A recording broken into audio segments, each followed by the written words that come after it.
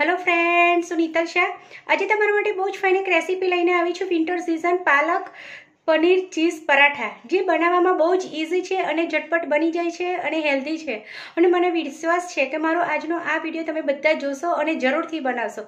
અને કેવું બન્યું છે એના માટે પ્લીઝ લાઇક શેર કોમેન્ટ અને સબસ્ક્રાઈબ જરૂરથી કરશો. અને કેવું બન્યું છે એના માટે પ્લીઝ લાઇક શેર કોમેન્ટ અને સબસ્ક્રાઈબ જરૂરથી કરશો. તો આપણે એની ઝટપટથી બનાવવાની શરૂઆત કરી દઈએ. હવે પાલક, પનીર, ચીઝ પરોઠા બનાવવા માટે મેં બે કપ છીણેલું આ પનીર લીધું છે. એની અંદર હું એક કપ પ્રોસેસ ચીઝ લઈશું આપણે. હવે એક ચતુર્થાંશ કપ મેં કોથમીરને એકદમ ઝીણી સમારી દીધી છે, એ લઈશું. અડધો કપ મેં એકદમ ઝીણી સમારેલી ડુંગળી લીધી છે. એક ટીસ્પૂન આદુની પેસ્ટ લીધી છે. અને એક ટીસ્પૂન લીલા મરચાંની આપણે પેસ્ટ લઈશું.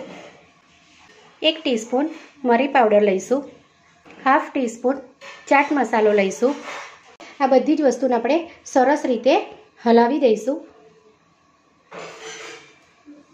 સ્ટફિંગમાં તમારે વેજીટેબલ્સમાં તમે કેપ્સિકમ હોય, એ અત્યારે વિન્ટરની સિઝનમાં બહુ જ સરસ મળે છે અને તમે એકદમ ઝીણા સમારીને પણ તમે લઈ શકો છો.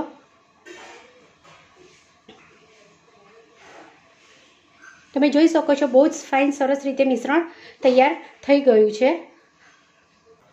હવે લોટ બાંધવા માટે મેં એક કપ લોટ લીધો છે આ. બીજો કપ લોટ લઈશું આપણે.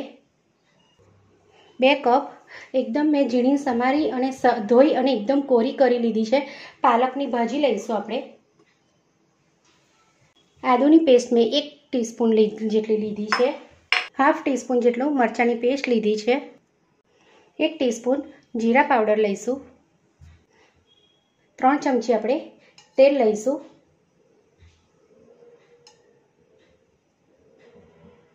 મીઠું આપણે સ્વાદ પ્રમાણે લઈશું.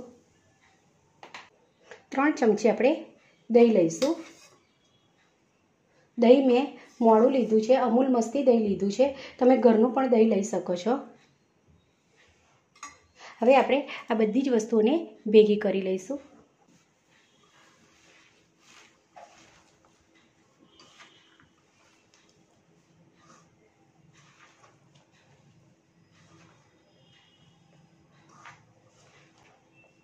આપણે પાણી વગર પહેલાં બરાબર લોટ અને ભાજીને મસળીશું કારણ કે અંદર દહીં નાખ્યું છે આપણે, એટલા માટે. અને જરૂર પડશે તો આપણે પાણીનો ઉપયોગ કરીશું. હવે લોટ ને ભાજીને બધું મિક્સ કર્યા પછી આપણે મેં અડધો કપ પાણી લીધું છે. આપણે જરૂર પડશે એ પ્રમાણે પાણી લઈશું. લોટ આપણે રોટલીનો બાંધીશું. એકદમ સોફ્ટ, સરસ આપણે કણક બાંધીશું.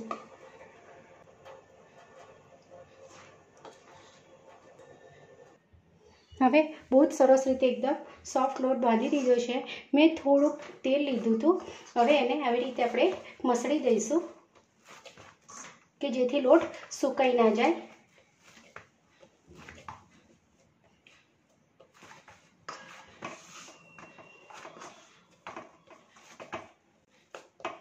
હવે આપણે ઢાંકીને થોડીક વાર આપણે મૂકી રાખીશું એને. હવે આપણે સ્ટફિંગમાં થોડુંક જ મીઠું એડ કરીશું.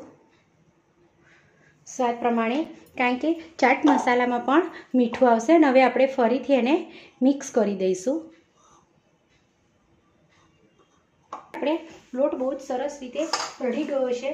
હવે એને આપણે મસળીને થોડુંક બહુ મસળવાનું નથી, થોડુંક હલકા હાથે જ આવી રીતે આપણે લોટને કરીને એક મોટો લુવો લઈશું આટલો. હવે આવી રીતે મોટી રોટલી વણ્યા પછી એની અંદર હું આવી રીતે સ્ટફિંગ મૂકીશું સાઈડ ઉપર. એક સાઈડ ઉપર જ આપણે સ્ટફિંગ મૂકવાનું છે. અને હવે એને બીજી સાઈડથી આપણે આવી રીતે ફોલ્ડ કરી દઈશું.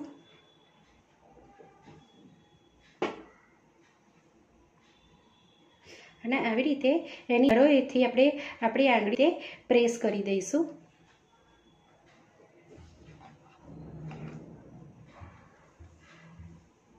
થોડોક આવી રીતે અટામણનો લોટ લઈને થોડુંક વેલણથી આપણે કરી દઈશું.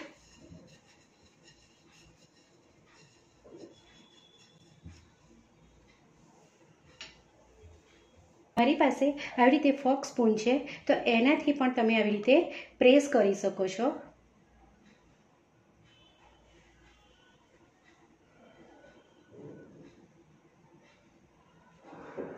પરાઠાને મેં થોડુંક લોઢી ઉપર તેલ લગાવી દીધું છે અને મૂકી દઈશું. અને સ્લો ફ્લેમ પર આપણે થવા દઈશું. આવી રીતે આપણે થઈ ગયા, એક સાઈડ પર થઈ ગયા પછી આપણે એને ફેરવી દઈશું.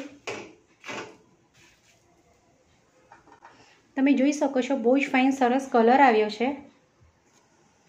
હવે એની ઉપર આપણે મેલ્ટેડ બટર લગાવીશું.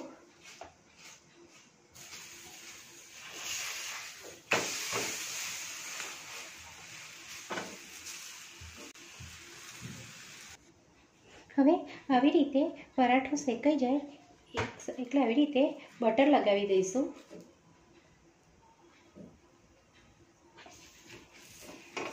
અને એને ધીમે રહીને આપણે ફેરવી દઈશું.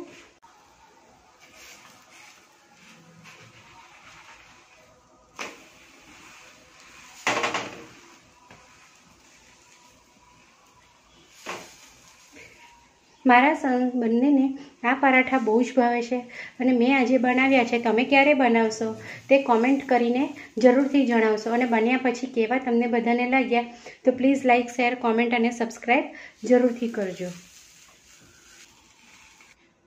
તો તૈયાર છે પાલક, પનીર, ચીઝ, પરાઠા, જે મેં ટ્રાયંગલ શેપમાં આવી રીતે કટ કર્યા છે. તેને તમે કેચઅપ અને મેં માયોનીઝ લીધું છે. મસાલા માયોનીઝ ઘરે બનાવ્યો. એની અંદર મેં થોડોક મરી પાવડર મીઠું ચીલી ફ્લેક્સ અને ઓરેગાનો એડ કર્યું છે. આ પરાઠા સાથે આ બહુ જ ફાઇન લાગે છે.